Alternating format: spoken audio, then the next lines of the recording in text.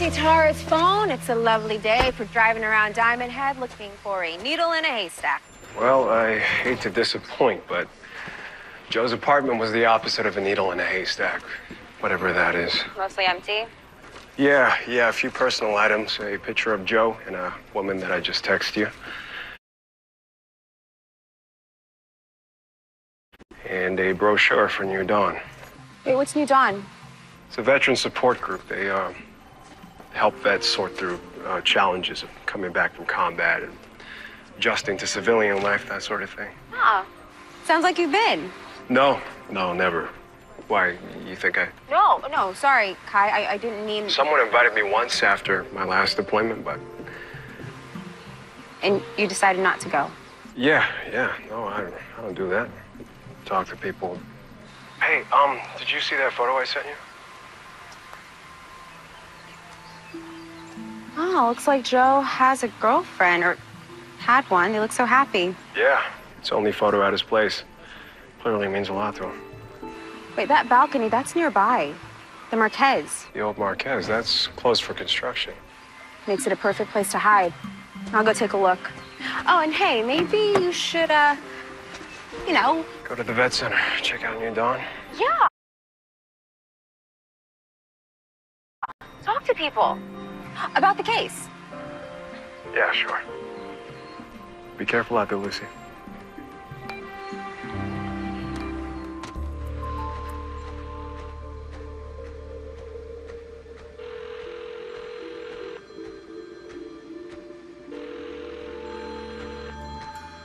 Joe?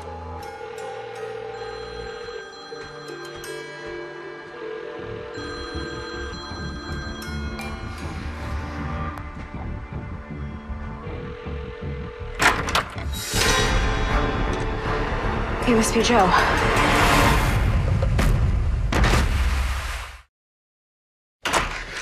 How do you know my name? I'm Lucy Tara, the NCIS agent you called. I don't remember calling you. Hey, it's okay. All right, I'm here to help. It's a lot of blood on you. Are you hurt? No, I don't think so. Maybe you shouldn't be here. I'm dangerous. I'm not sure I believe that, Joe. You don't know me. I know you go to New Dawn, veteran support group. That you asked me for help, said you wanted to tell the cops everything that happened. I do. I just, I, I just get so confused. You know, maybe, uh, maybe this will help. You found it in your apartment. Who is she? That's Marissa. My love. Did, did she reach out? No. But is she someone we can call? Maybe help you remember some things? No. She doesn't like it when I call her anymore. Not since the accident. Listen, Joe, I want to help. But you have to give me the gun. Otherwise, my associates out there, they're going to get the wrong impression that you're a danger to me, and you're not. You're not a danger to me, right? You called me for the right reasons. Said you may have hurt someone, but you want to help. You're lying. You're trying to manipulate me. Why does everybody try and trick me? I'm, I'm not lying. This is my boss. See, she knows that I'm here, and she's worried, so I'm going to answer it, okay? Okay, okay. Hello? Lucy, you all right? I'm with Joe right now, and he's willing to cooperate. He just needs to hand me his gun. Lucy, we are sending an HPD now to assist. Actually, I think it's better if you didn't I think uh, Joe would be a lot more comfortable talking to just me. Look, I don't think. And I'm not in any danger because Joe is going to hand me his gun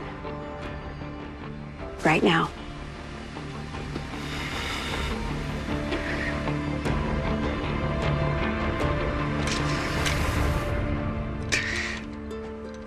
Thank you, Joe.